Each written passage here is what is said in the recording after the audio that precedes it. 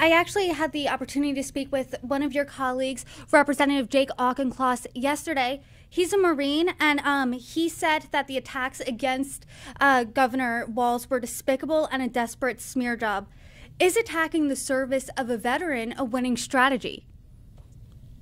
You know, we certainly honor his service, but like I said, I'm going to have to listen to those guardsmen who served with him, who know him, and they're calling him out on it. They're calling him out and making and asking the questions about his service.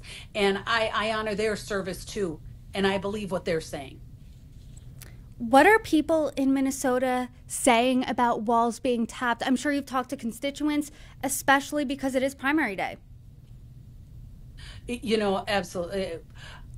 People of Minnesota are are just surprised that he would be picked because he is so radical. But I, am not surprised in the sense that she wanted someone radical and they're going to try to paint him as moderate. And uh, it's like I said earlier, it's just laughable. And the people are surprised that they Minnesota, the you know spending that surplus, raising their taxes. He's not doing anything for the economy here. Uh, spending continues to the out of control spending in the state of Minnesota, and uh, and and the radical radical social policy that he is putting forward.